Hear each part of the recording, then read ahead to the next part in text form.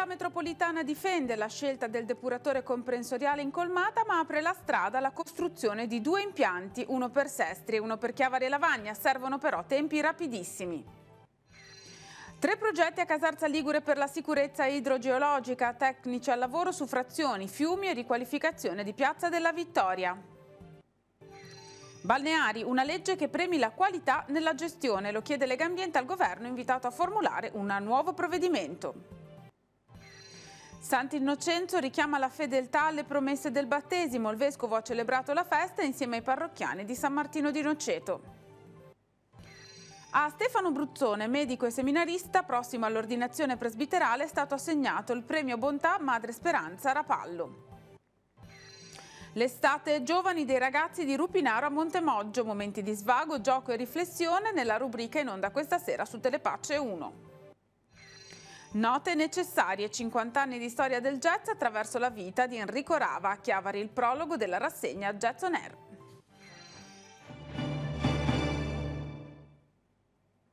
Buonasera a tutti e ben ritrovati a Tiguglio oggi. Dunque c'è una parziale apertura da parte della città metropolitana riguardo alla vicenda del depuratore per la zona del Tiguglio centrale ed orientale. Il consigliere incaricato all'ambiente Enrico Pignone ha scritto al sindaco di Chiavari Roberto Levaggi invitandolo a proporre in tempi molto rapidi una soluzione alternativa all'impianto comprensoriale in Colmata per un depuratore che serva dunque Chiavari, Lavagna e il loro entroterra. Si farebbe strada in questo modo la possibilità di costruire due impianti distinti, ma cerchiamo di capire di più nel primo servizio di questa sera. La città metropolitana di Genova difende la scelta di collocare un impianto per la depurazione delle acque di portata comprensoriale a Chiavari incolmata ma apre ad eventuali alternative. Chiavari proponga una soluzione ma alla svelta. È in sintesi il messaggio contenuto nella lettera inviata oggi al sindaco Roberto Levaggi dal consigliere incaricato all'ambiente Enrico Pignone. Nel documento che definisce pregiudiziale l'opposizione del comune di Chiavari alla scelta individuata, Pignone mette in luce come proprio Chiavari non abbia proposto alternative concrete concrete al progetto approvato dal Consiglio metropolitano e per il quale, lo ricordiamo, procede a tutt'oggi la progettazione. Progettazione che prevede la costruzione di un impianto per il bacino dell'Entella, Chiavari, Lavagna e comuni del loro entroterra e di parte della Val Fontana Buona e la zona di Sestri Levante e della Val Petronio. Per Pignone i vantaggi sono molteplici, superamento delle procedure di infrazione per Lavagna, Sestri Levante e Riva Trigoso, valorizzazione dell'area Preli, garanzie per Chiavari che fra cinque anni avrebbe comunque un impianto quanto obsoleto.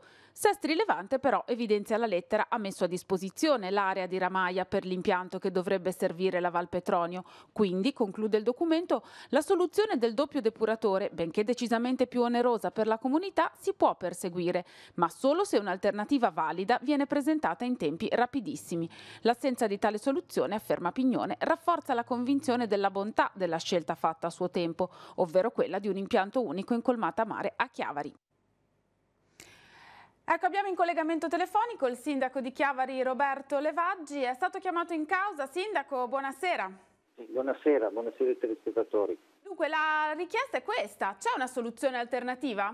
Ah, guardi, prima di tutto mi fa piacere che Pignone dopo 6-7 mesi che io chiedo che il sindaco Dori e lui stesso convochino una riunione dei sindaci dell'Entella, solo dell'Entella, per prendere una decisione comune finalmente arrivi questa, questa lettera e che parli dell'ipotesi di due depuratori, uno di Valata.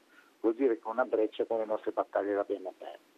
Seconda, seconda cosa, non può chiedere al sindaco di Chiara di individuare un sito in altri comuni perché noi non siamo in infrazione comunitaria e io non ho, non ho la, la, possibilità di leggere proprio l'opinione, dovrebbe sapere che il sindaco di Chiara non può individuare soluzioni, deve essere lato devono essere quello, gli strumenti legislativi che ci sono attualmente. Il comune può individuare aree nel proprio territorio, noi il depuratore già ce l'abbiamo e quindi non è che vado a trovare siti in altre parti di altri comuni. Però eh, l'invito lo raccogliamo volentieri, io già più volte avevo chiesto un incontro, chiederemo ai primi di settembre, perché adesso magari sono sotto per agosto, che il sindaco Doria si faccia carico di inviare una riunione tra i comuni del, del bacino dell'Entella. È quello che volevamo già fare quando poi è successo il fatto di Lavagna, non, si, non abbiamo proseguito con, con, tutti i comuni di Chiavari, Cogorno, Levi eh, e me per farsi il Carasco per far sì di trovare una soluzione comune alternativa. È logico che Sestri individui un proprio sito, perché Sestri è un'infrazione, non ha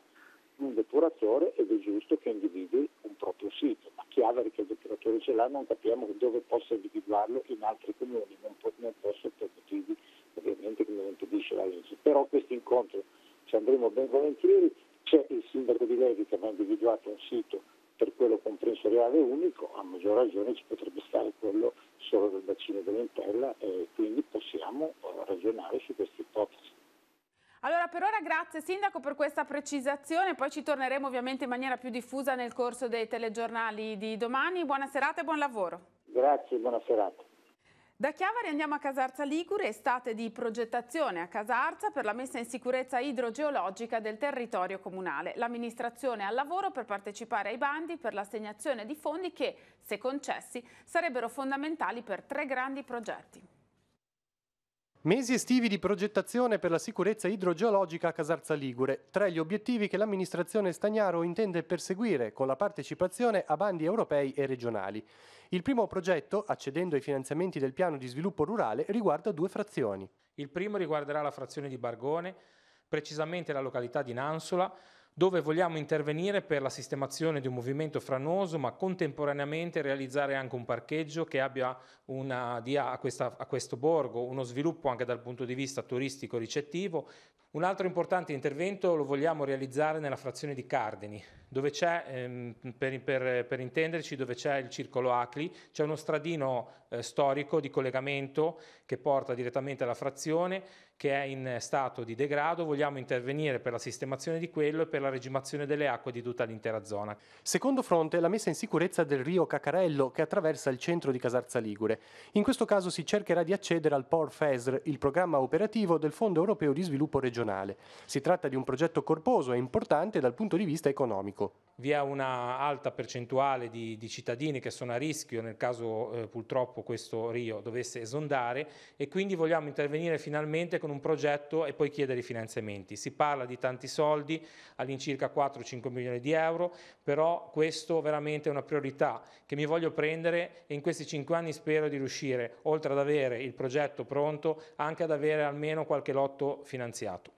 Infine, la Giunta Stagnaro intende, attraverso il GAL, il gruppo di azione locale, mettere in sicurezza la sentieristica comunale e, sempre ai fini turistici, riqualificare Piazza della Vittoria. Con la pedonalizzazione della, della, della parte diciamo, vicina alla scalinata della chiesa e riqualificheremo la, la, la piazza dove oggi c'è eh, una fontana che dovrà essere eh, diciamo, sostituita e, e, e messa diciamo, a posto tutta la piazza con una nuova dislocazione dei parcheggi e anche una maggiore sicurezza.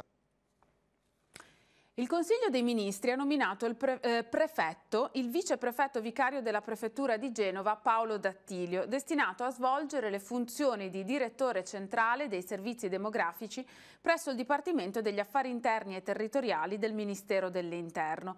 Paolo Dattilio, entrato nella carriera prefettizia nel 1985, ha prestato servizio dapprima presso la prefettura di Savona e poi a Livorno, dove ha svolto le funzioni di capo di gabinetto e successivamente quelle di vicario. È stato assegnato nel 2010 alla prefettura di Genova con le funzioni di viceprefetto vicario. È presidente della sezione di Genova della Commissione territoriale per il riconoscimento della protezione internazionale di Torino. Ha svolto numerosi incarichi esterni, tra cui quello di componente della Commissione commissione straordinaria per la gestione del comune di Bordighera a seguito dello scioglimento del Consiglio Comunale per infiltrazioni di stampo mafioso e di membro della commissione d'accesso del comune di Diano Marina. Al momento è commissario straordinario del comune di Lavagna. Parliamo ora di balneari. Le gare per l'assegnazione delle concessioni dovrebbero premiare le imprese familiari. A dirlo Legambiente, che chiede al governo una legge che tuteli coloro che accedono alla spiaggia, ma anche gli imprenditori. Da una parte si chiede di riconoscere ai balneari il valore d'impresa, dall'altra però di rivedere canoni e accessi al litorale. Sentiamo. Subito una legge sulle concessioni demaniali per garantire il diritto a spiagge accessibili e libere dal cemento, consentendo agli imprenditori onesti di lavorare in un quadro di certezze. A chiederla è Goletta Verde, la storica campagna di Legambiente che in questi giorni sta completando il suo viaggio lungo le coste italiane. Le proposte sono cinque. Primo, fissare una quota minima di spiagge libere pari al 60%. In molte regioni non sono in vigore leggi che regolano i limiti, mentre in Francia, per fare un esempio, si arriva all'80%. Per Legambiente occorre rivedere spazi e dimensioni contenuti nelle convenzioni o nelle gare per le assegnazioni. Secondo aspetto, bisogna premiare la qualità della gestione come criterio di aggiudicazione della gara, come chiedono anche i balneari. La legge dovrebbe dunque contenere criteri e obiettivi precisi, in modo da premiare i progetti che puntano sulla sostenibilità nella gestione, aiutando così le tante imprese, molto spesso familiari, già titolari di concessioni balneari. Il documento dovrebbe inoltre riconoscere agli stabilimenti il valore di azienda e anche questa è una richiesta fatta a più riprese dalle associazioni dei balneari. Terzo punto, i canoni però devono essere adeguati. In alcune realtà italiane, denuncia Legambiente, si verificano situazioni insopportabili, con imposte anche molto basse rispetto all'effettivo guadagno delle imprese. La legge dovrebbe contenere un canone minimo nazionale, con la possibilità per le regioni di introdurre premialità o penalità. La quota maggiore del canone, chiede ancora l'associazione, dovrebbe andare ai comuni con un vincolo di destinazione per interventi migliorativi e di valorizzazione ambientale dell'area costiera. Infine si chiede l'attivazione di un portale nazionale delle concessioni e il diritto dei cittadini a poter usufruire delle spiagge, mentre spesso accade che gli stabilimenti impediscano l'accesso gratuito al litorale. L'epilogo è stato rocambolesco, le conseguenze fortunatamente non gravi. L'incidente avvenuto questa mattina attorno alle 2 in via 5 maggio a Sturla non ha provocato feriti, ma le vetture coinvolte hanno riportato seri danni. Sul posto sono intervenuti i vigili del fuoco del distaccamento est di Genova. Un veicolo fuori strada ha perso il controllo finendo sul cofano di un'auto di passaggio.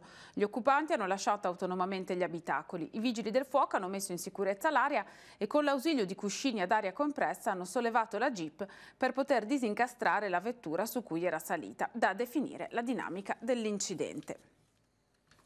Il capogruppo di partecipa attiva, Giorgio Canepa, esprime perplessità sulla modalità adottata dal comune di Chiavari per pedonalizzare piazza Matteotti. È stato creato un corridoio pedonale tra via Vittorio Veneto e via Martiri della Liberazione, rileva Canepa. In cambio sono comparsi un numero enorme di posteggi blu, anche in zone dove prima erano bianchi oppure erano stati tolti. Questa modifica, secondo il consigliere di minoranza, contribuirebbe a rendere la piazza per gran parte della giornata ancora più automobilizzata e caotica. Il Consiglio Comunale di Santa Margherita Ligure si riunirà il 18 eh, eh, agosto, ovvero giovedì prossimo, a partire dalle 19. All'ordine del giorno nove mozioni e una interpellanza presentate dai gruppi consiliari insieme Santa nel Cuore, La Voce della Città e Progetto per Santa Pastine, che avranno ad oggetto la situazione degli impianti sportivi cittadini, il regolamento ed il piano di risanamento acustico, la polizia locale, il posizionamento del palco di Piazza Caprera e ancora ancora i cimiteri cittadini, la situazione dell'area brissolese, via 25 aprile, la mobilità cittadina, il decoro urbano e il monumento a Giuseppe Garibaldi. Sant'Innocenzo, come San Lorenzo, è uno dei sette diaconi martiri. Il santo è venerato nella piccola comunità di San Martino di Noceto a Rapallo. La parrocchia in questi mesi si è rivitalizzata insieme a Don Davide Sacco, giovane sacerdote che ne è alla guida. In occasione della festa di Sant'Innocenzo, la messa del mattino è stata presieduta dal vescovo. La parrocchia di San Martino di Noceto appartiene a quella schiera di piccole comunità collinari che fanno da corona la popolosa Rapallo. Benché non molto numerosi, i fedeli della parrocchia portano avanti le tradizioni con fedeltà e devozione, quest'anno rinvigoriti dall'arrivo del nuovo pastore. È una comunità viva, lo era anche prima, però da quando c'è Don Davide rinata, siamo rinati tutti perché abbiamo avuto tante, tante belle cose da lui. La festa principale è quella in onore a Sant'Innocenzo, uno dei sette diaconi martiri insieme a Papa Sisto II. Il santo, ha sottolineato il vescovo durante la celebrazione dell'Eucaristia nel giorno della festa, ci richiama la fedeltà alle promesse fatte nel battesimo. E noi guardiamo in questo santo la fedeltà fino in fondo, senza riserve. E questo ci interroga sulla nostra vita cristiana. Quanto, quale importanza ha la fedeltà al nostro essere cristiani. Particolarmente colpito e commosso Don Davide Sacco che da qualche tempo amministra la comunità di Noceto. Dal giovane sacerdote parole di elogio in particolare per la cantoria da poco ricomposta. Dopo tanti mesi che con gioia sono arrivati a questo giorno. Tante fatiche, tanti sforzi, però è bello che c'è una comunità viva, che è rinata, che è nata e quindi questo a me mi commuove. I giovani non sono tantissimi, chi lavora fuori, chi si sposa e va a vivere altrove, eccetera. Però il gruppetto che è rimasto e che fa parte del comitato festeggiamenti è veramente molto molto unito. La cosa bella del nostro gruppo è che con tutte le difficoltà, con, nonostante siamo pochi, siamo veramente una grande famiglia. E in un clima di famiglia non poteva passare inosservato il compleanno di Monsignor Alberto Tanasini con una piccola ma gradita sorpresa.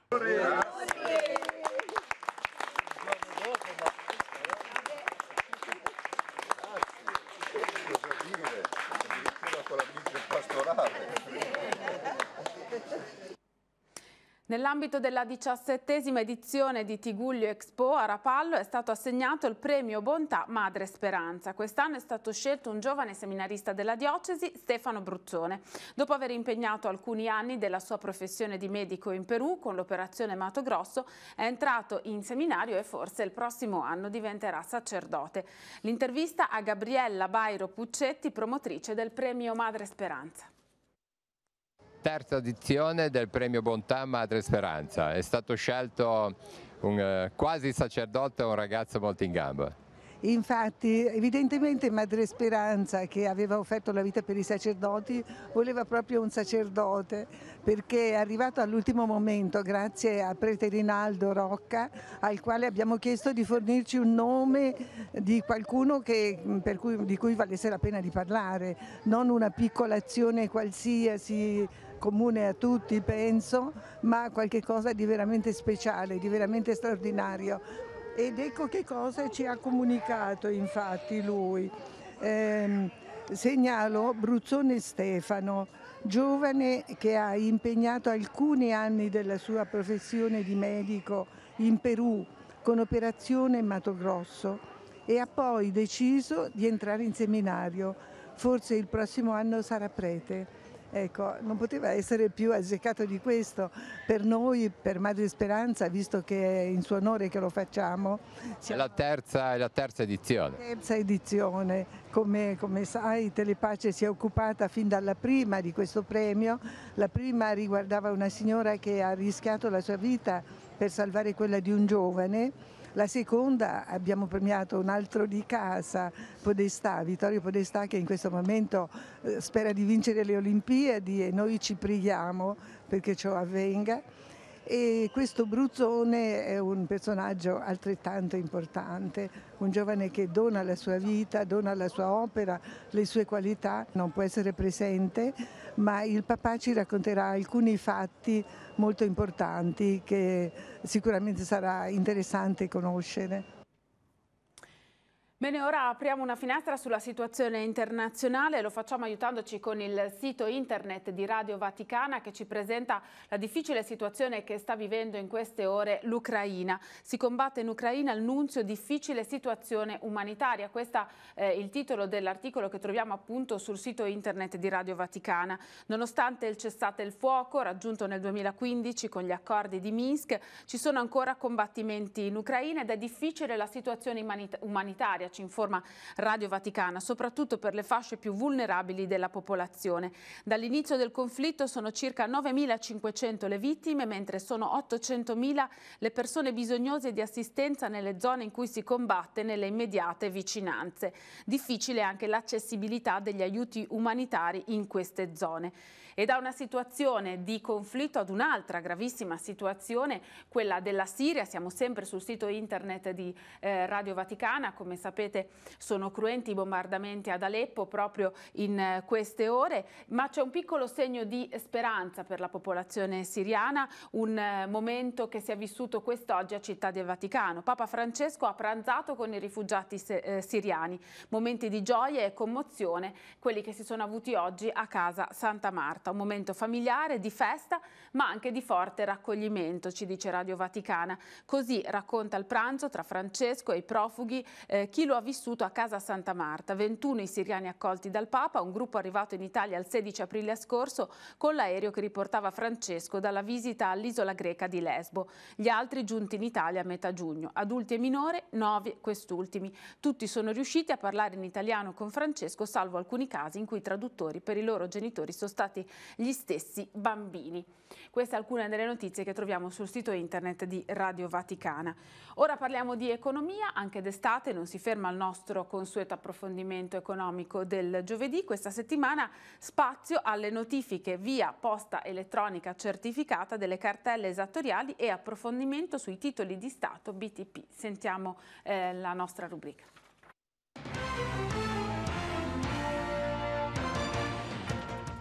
Le persone fisiche possono ottenere la notifica telematica delle cartelle esattoriali via PEC inviando una richiesta a Equitalia Servizi di Riscossione SPA, indicando l'indirizzo PEC e utilizzando l'apposito modulo scaricabile dal sito. Se l'indirizzo non risulta valido o attivo o se la casella è satura, la notifica viene eseguita mediante deposito presso gli uffici della locale Camera di Commercio, con avviso pubblicato sul sito della stessa e inviato al destinatario per raccomandata.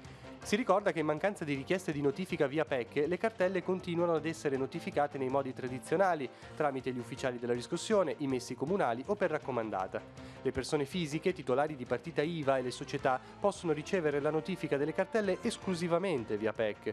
È quindi consigliabile leggere costantemente la posta pervenuta in questa casella per evitare spiacevoli sorprese. Ora spazio all'approfondimento. Nell'ultima asta dei BTP di questi giorni il rendimento del decennale italiano è stato pari all'1,12%. I BTP sono titoli di Stato a tasso fisso perché pagano una cedola, cioè gli interessi, che resta fissa per tutta la durata del titolo. Visto che i BTP sono quotati e che ogni giorno variano di prezzo, il rendimento cambia insieme alla quotazione. A parità di cedola, infatti, chi compra ad un prezzo più basso incassa alla fine della vita del titolo un rendimento più elevato. Questo perché alla scadenza i BTP vengono rimborsati tutti a 100. Pertanto, quando il prezzo scende, il rendimento sale e viceversa. La fonte è del Sole 24 Ore del 10 agosto 2016. Prosegue il nostro viaggio nei campi estivi organizzati dalle parrocchie della nostra diocesi. Questa, questa, sera nella nostra rubrica Estate Giovani saranno protagonisti bambini di terza, quarta e quinta elementare della parrocchia di San Giacomo di Rupinaro a Montemoggio. Un'anticipazione. Azzurro come te, Ben ritrovati a un nuovo appuntamento con eh, Estate Giovani per il campo parrocchiale della parrocchia di San Giacomo di Rupinaro, il campo delle elementari.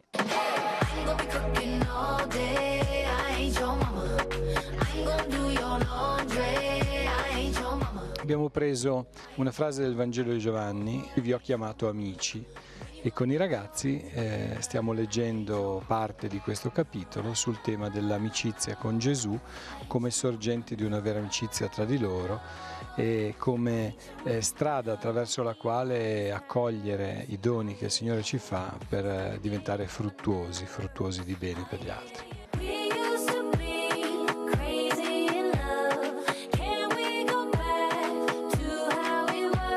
Come mai hai scelto di fare l'animatrice? Perché i miei vecchi animatori mi hanno lasciato un bellissimo ricordo dei campi e volevo far passare ai bambini più piccoli la stessa esperienza così bella e formativa. Visto che il tema di questo campo è vi ho chiamato amici, mi piacerebbe che i ragazzi si creasse tra i ragazzi un forte legame di amicizia e sono venuto principalmente al campo per ricevere qualcosa da loro ma per dare anche qualcosa a loro.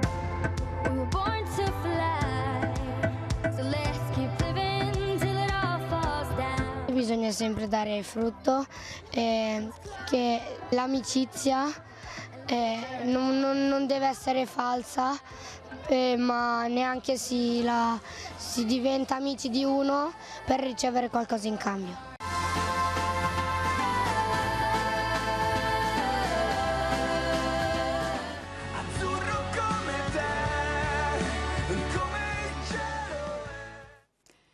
Cronaca aveva tentato di forzare la porta d'ingresso di un appartamento. I carabinieri lo hanno rintracciato e denunciato. È quanto accaduto a Sestri Levante.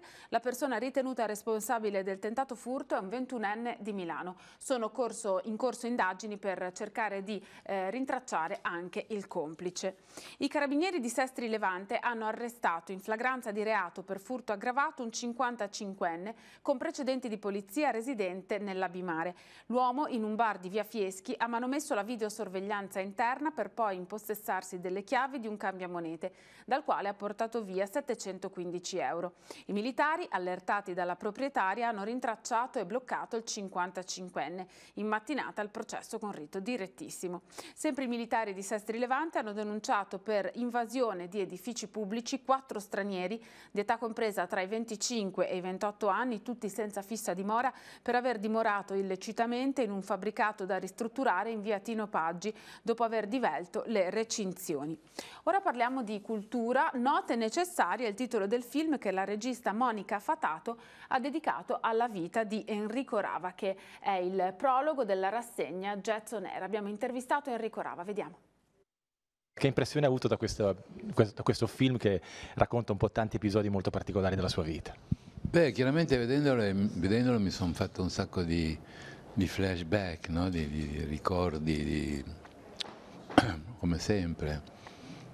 Sono, sono, tra l'altro sono contento perché mi sembra sia venuto bene, ci sono delle cose molto belle, ci sono cose che io non ricordavo più, eccetera. Mi sembra anche che sia si possa vedere anche se non si è proprio addetti ai lavori oppure se non, se non si è eh, parte di questa nicchia che, che segue il jazz. No? C'è un momento molto importante eh, di quel primo disco che lei ascoltava a casa dei suoi e che ora custodisce suo fratello e che nel film suo fratello mette proprio sul, sì. con la testina. Sì, sì, il disco è un disco di Bix Beiderbecke che è stato un grandissimo degli anni venti, quindi in piena come si chiamava una volta l'età del jazz, Scott Fitzgerald, tutto, tutto ciò, no? Ecco, lei ha raccontato anche di altri due musicisti che le hanno segnato un po' la vita. Mi riferisco ad Armstrong e a Miles Davis. Ah, Armstrong è il più rappresentativo musicista di, di, jazz, secondo me. Infatti il grandissimo Miles Davis, che per me è il più grande musicista di jazz moderno, un giorno disse in un'intervista tutto ciò che noi suoniamo l'ha già suonato Louis Armstrong. Lei ha attraversato un po' 50 anni di musica jazz e in questi ultimi anni il, eh, il, panorama italiano, mi riferisco, produce sempre migliori musicisti e la sua perplessità era quella di dire ma cosa faranno questi ragazzi così bravi? Eh, difatti eh, mi preoccupo per loro, non è facile per niente perché con tutti i tagli che ci sono stati, quindi un, hanno cancellato una quantità incredibile di eventi, per esempio, i, i piccoli festival che prima comunque erano una base di lavoro, stati, non esistono più. Detto ciò, rimane il fatto che ci sia una quantità veramente enorme di giovani musicisti straordinari. Dunque dopo il prologo dedicato a Enrico Rava, domani sera l'inizio ufficiale di Jazz On Air alle 21.30 in piazza Fenice a Chiavari con Francesca Tandoi European Trio. Vediamo quali sono tutti gli altri appuntamenti nella nostra scheda.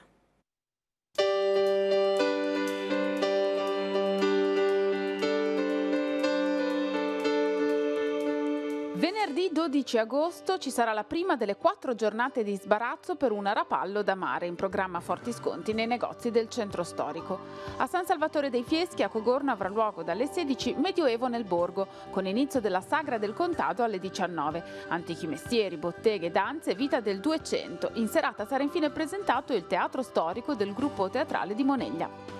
Solidarietà in musica è il titolo della terza edizione della Lotteria Premi e del concerto promosso dal Radio Club Levante Onlus. La manifestazione avrà inizio alle 17 nell'anfiteatro Binghi di Santa Margherita Ligure. Nell'ambito del Festival Torriglia in Arte ritrovo in piazza Donnetta alle 17 per una passeggiata storico-naturalistica fino al sito archeologico guidata dal ricercatore Mauro Casale. Descrizioni di fiori, piante ed erbe officinali presenti sul territorio del Parco dell'Antola. Alle 18 incontro con l'autore Giuseppe Semboloni e presentazione del suo volume D'improvviso riapparve il pallone rosso. L'iniziativa nell'ambito della rassegna Il Sallotto di Amalia avrà inizio alle 18 nella Biblioteca Bertoni all'interno di Villa Durazzo a Santa Margherita Ligure.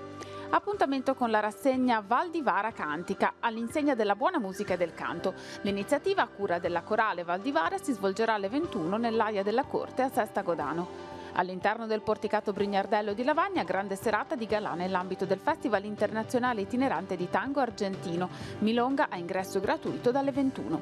Ultima replica per l'opera lirica Le nozze di Figaro di Mozart, curato dal Lirica Club Varese Ligure. Inizio dello spettacolo alle 21 in Piazza Fieschi. Note in piazza a Lavagna, serata all'insegna della musica in Piazza della Libertà alle 21. Giro delle piazze con gli amici del coro Voci d'Alpe e le allegre fisarmoniche a Santo Stefano d'Aveto. L'inizio è previsto per le 21. Nell'ambito del Festival Paganiniano di Carro si terrà il recita del pianista Nicola Parisi. Appuntamento alle 21 a Riccò del Golfo all'interno della chiesa di San Benedetto. Secondo concerto rapallese nell'ambito del diciottesimo Festival Organistico Internazionale. L'esibizione musicale si terrà all'interno dell'Oratorio dei Bianchi alle 21.15, questa volta in compagnia del duo spagnolo formato dal fagottista Fernando Sánchez Herrero e dall'organista Javier Artiga Spina. Prima serata del Friday Night 2016 nei bagni La Valletta Santa Margherita Ligure alle 21.30 per i cena accompagnato da note musicali lounge a seguire musica disco sulla spiaggia. Corde oblique, musica d'autore è la rassegna musicale che questa volta vede protagonisti gli New Quartet e Federico Sirianni. Appuntamento alle 21.30 sul lungomare Vittorio Veneto a Rapallo.